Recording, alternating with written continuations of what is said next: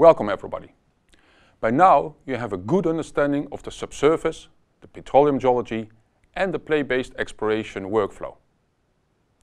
Assume you have been awarded the rights to explore in a large offshore area or in the desert of Oman.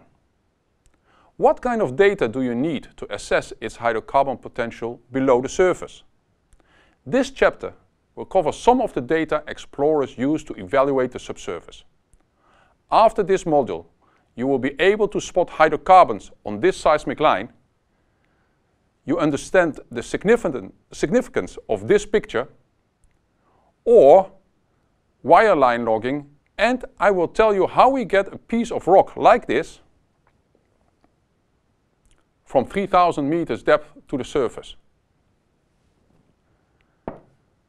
One of the most important sources of information of the underground is seismic data, which is extensively used by explorers. This picture shows the surface and the subsurface below. An energy source is placed and geophones are laid out. A geophone like this one that I have in my hand over here. It records movements at the surface. From the energy source, seismic waves spread out and bounce back to the surface and the refracted signals are recorded by the geophones. Afterwards, specialists with the help of powerful computers will create an image of the subsurface. We shoot seismic in many different environments.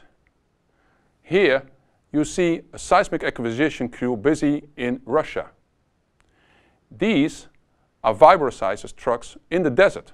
A plate is lowered on the ground and the truck puts all its weight on the top of it and starts to shake, creating a signal in the underground. This technique is also very much used in populated areas such as the Netherlands. Seismic is also recorded at the sea. Here you see a boat towing air guns and behind 8 kilometer length of hydrophones. Now, can we predict the presence of reservoir or seal from seismic? The answer is sometimes.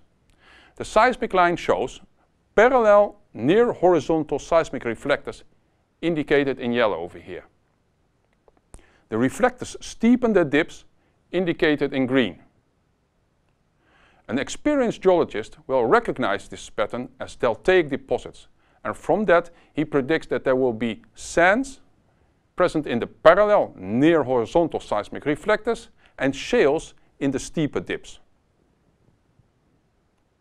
Now can we see hydrocarbons on seismic? And or the answer is yes, given the right circumstances. Assume you have a water-bearing sand layer indicated here in yellow, enclosed in shale.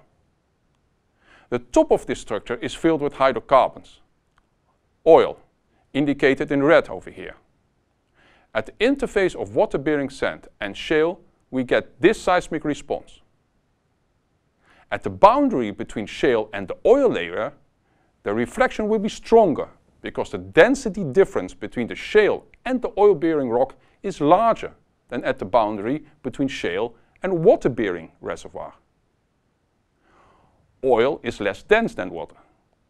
So if you would go from water-bearing reservoir to oil-bearing reservoir, then we would see an increase of amplitude, as shown on this picture. So now we know the theory, let's practice. I want you to have a close look at this seismic line.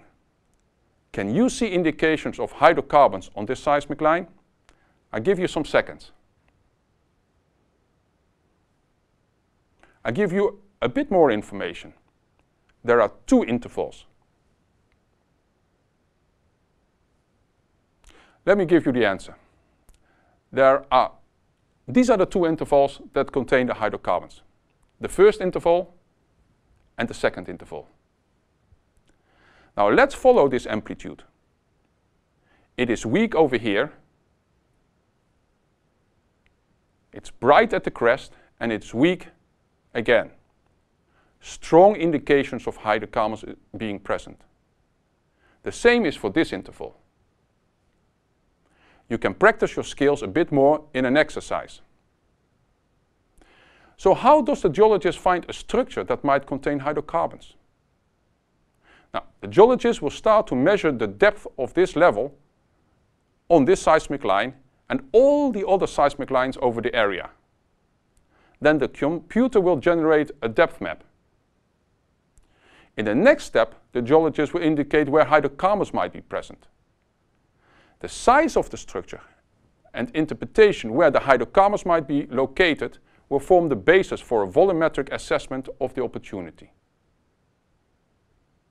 I would like to conclude this module to explain the difference between 2D, 3D and 4D seismic. You might wonder what this 2D image of a baby in the womb of a mother has to do with seismic.